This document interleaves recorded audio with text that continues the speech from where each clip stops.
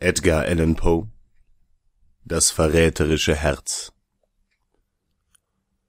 Fürwahr, reizbar, sehr, gar fürchterlich reizbar waren meine Nerven gewesen und sind es noch. Doch warum gleich behaupten wollen, ich sei verrückt? Das Leiden hat meine Sinne geschärft, beileibe nicht zerrüttet oder abgestumpft. Recht eigentlich war der Gehörsinn übermaßen fein ich hörte alle Dinge im Himmel und auf der Erde, und ich hörte viele Dinge in der Hölle. Wie bin ich denn also verrückt? Hören Sie gut zu und haben Sie acht, wie wohlgesund, wie ruhig ich Ihnen die ganze Geschichte erzählen kann. Wie der Gedanke mir zuerst in den Sinn gekommen, weiß ich unmöglich zu sagen. Doch als ich ihn einmal gefasst, quälte er mich Tag und Nacht. Zweck war es nicht. Leidenschaft war es nicht. Ich mochte den alten Mann. Er hatte mir niemals Unrecht zugefügt. Er hatte mich niemals gekränkt. Nach seinem Golde gelüstete mich nicht. Es war wohl sein Blick, ja, das war es. Eines seiner Augen glich dem eines Geiers. Ein blassblaues Auge mit einem Häutchen darüber. So oft sein Blick auf mich fiel, stockte mir das Blut in den Adern, und so reifte in mir denn nach und nach, so ganz allmählich, der Entschluss, dem Alten das Leben zu nehmen und so auf immer von dem Auge mich zu befreien. Und das ist nun der springende Punkt.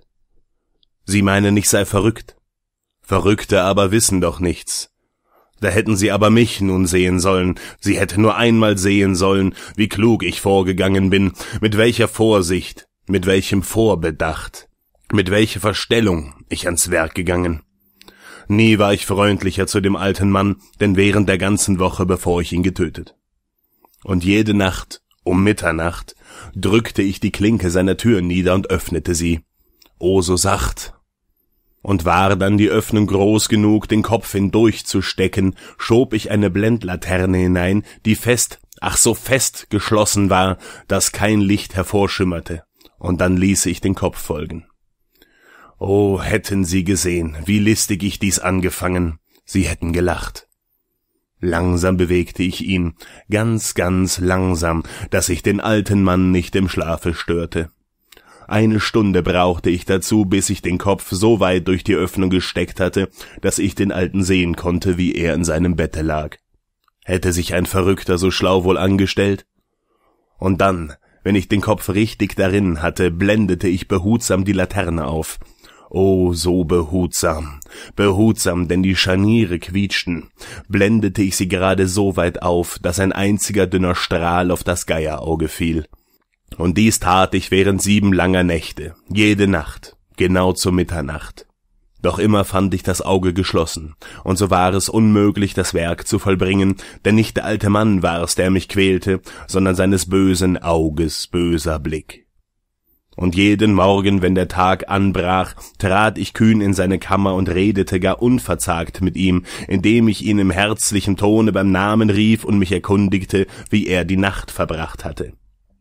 Sehen Sie, so hätte er schon ein sehr scharfsinniger alter Mann sein müssen, um zu argwöhnen, dass ich in jeder Nacht genau um zwölf bei ihm hineinschaute, indes er schlief.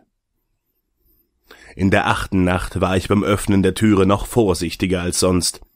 Der Minutenzeiger einer Uhr rückte schneller vor, als meine Hand dies tat.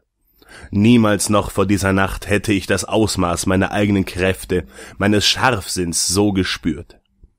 Kaum vermochte ich meine Triumphgefühle zu bändigen, zu denken, dass ich da war und ganz allmählich die Türe öffnete, indes er nicht einmal im Traume etwas von meinem heimlichen Taten oder Gedanken ahnte. Ich musste regelrecht kichern bei dem Gedanken, und er hörte mich wohl, denn plötzlich, als hätte ihn etwas erschreckt, bewegte er sich im Bett. Nun denken Sie vielleicht, ich hätte mich zurückgezogen, aber nicht doch. Sein Zimmer war in dichtes Dunkel gehüllt, wie Pech, so schwarz, denn aus Angst vor Einbrechern waren die Fensterläden fest verschlossen, und so wusste ich, dass er nicht sehen konnte, wie die Tür sich öffnete, und ruhig schob ich sie denn weiter auf, immer weiter. Ich hatte den Kopf schon drinnen und wollte gerade die Laterne aufmachen, da glitt mein Daumen an dem blechernen Riegel ab, und der alte Mann fuhr im Bette hoch und schrie, Wer ist dort? Ich hielt ganz still und sagte nichts. Eine volle Stunde lang regte ich keinen Muskel, und während dieser ganzen Zeit hörte ich nicht, dass er sich wieder hinlegte. Noch immer saß er im Bett und lauschte. Genau wie ich es, Nacht um Nacht getan, da auf die toten Uhren in der Wand ich gehorcht.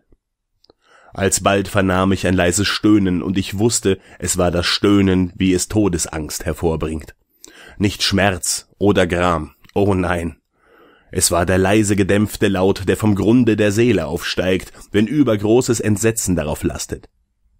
Mir war dieser Laut wohl bekannt. So manche Nacht, genau zur Mitternacht, wenn alles schlief, ist er hervorgequollen aus meiner Brust und hat mit seinem fürchterlichen Echohall das Grauen noch vertieft, welches mich gequält. Wie gesagt, ich kannte ihn wohl. Ich wusste, was der alte Mann empfand, und er tat mir leid, obschon es im Herzen mich erfreute. Ich wusste, er hatte wach gelegen seit dem ersten leisen Geräusch, da er sich im Bette umgedreht. Seither war in ihm die Angst immerzu gewachsen. Er hatte versucht, sich einzubilden, sie sei grundlos. Doch war es ihm nicht gelungen. Es ist nichts denn der Wind im Kamine, hatte er auf sich eingeredet. Es ist nur eine Maus, die über die Dielen huscht. Oder es ist bloß ein Heimchen, welches nur einmal gezirpt. Ja, mit derlei Vermutungen hat er sich immer wieder zu trösten versucht, doch alles vergebens. Alles vergebens, weil der Tod sich ihm genaht vor ihn getreten war mit seinem schwarzen Schatten und das Opfer dareingehüllt hatte. Und es war die traurige Gewalt dieses unsichtbaren Schattens, welche ihn, obwohl er nichts sah noch hörte, die Gegenwart meines Kopfes im Zimmer spüren ließ. Als ich lange Zeit voller Geduld gewartet hatte, ohne zu vernehmen, dass er sich hingelegt hätte, beschloss ich, die Laterne um einen kleinen, einen winzig, winzig kleinen Spalt zu öffnen. So öffnete ich sie denn. Sie können sich nicht vorstellen, wie leise, leise, bis schließlich wie der Faden eines Spinngewebs ein einziger matter Strahl aus dem Spalt hervorschoss und auf das Geierauge fiel. Es war offen weit, weit offen, und die Wut packte mich, da ich darauf starrte. Ich sah es mit vollkommener Deutlichkeit, das ganze fahle Blau mit den grässlichen Schleier darüber und erschauerte bis auf Mark. Doch vom Gesicht oder der Gestalt des alten Mannes vermochte ich sonst nichts zu erblicken, denn gleichsam instinktiv hatte ich den Strahl genau auf den verdammten Fleck gerichtet.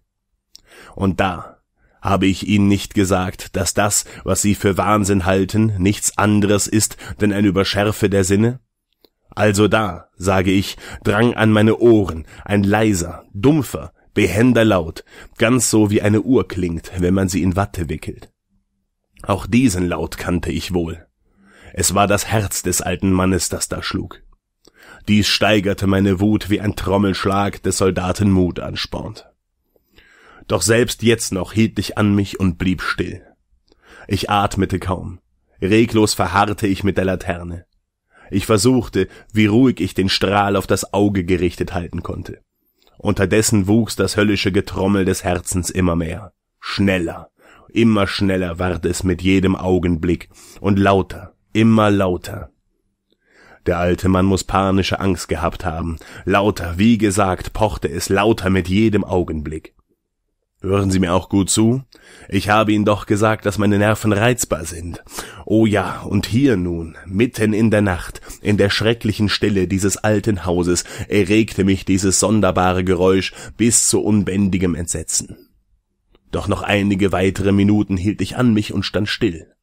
Aber das Pochen ward lauter, lauter.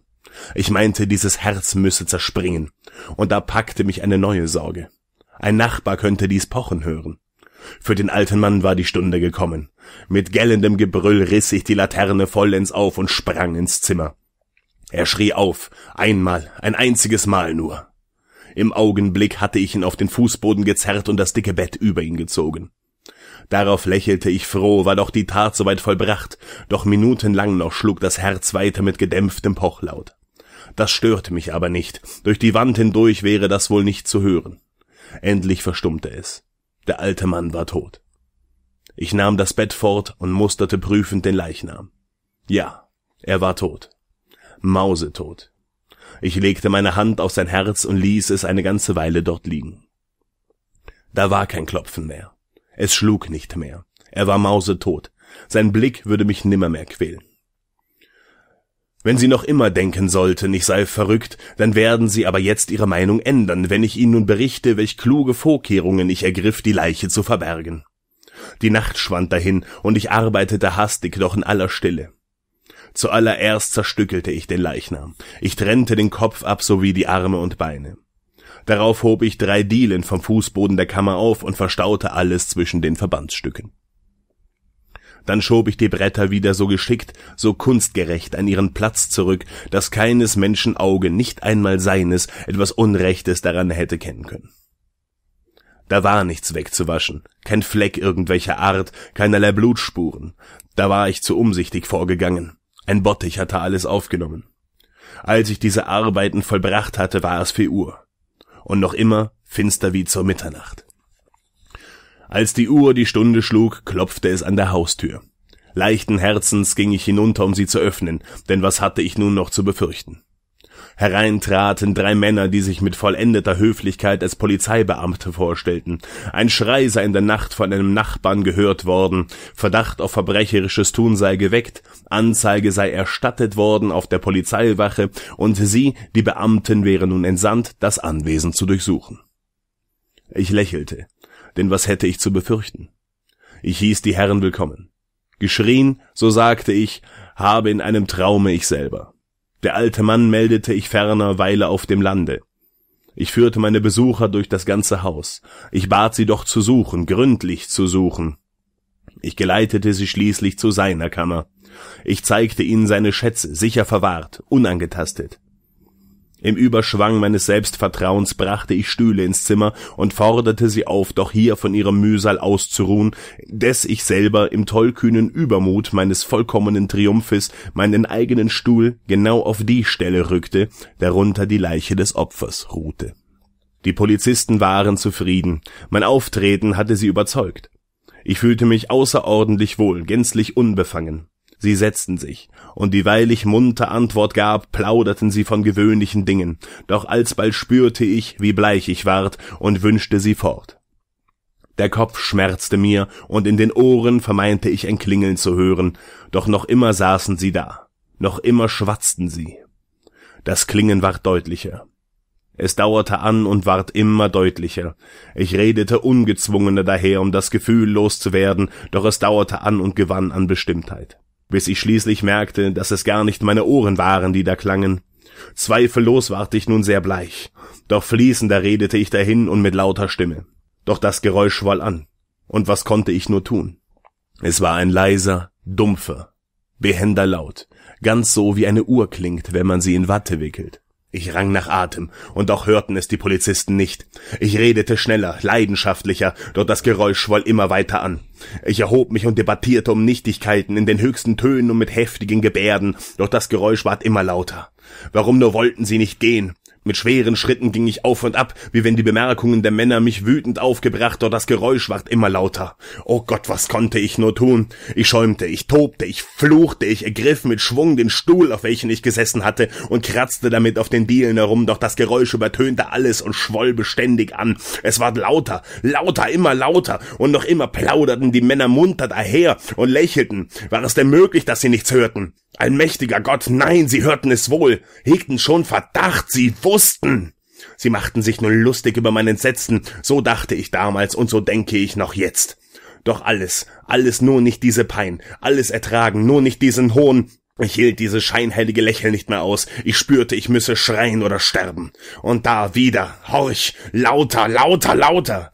Ihr Schurken, schrie ich, genug eurer Heichelei. Ich gestehe die Tat. Reiß die Dielen auf. Hier, hier, sein grässliches Herz. Es schlägt.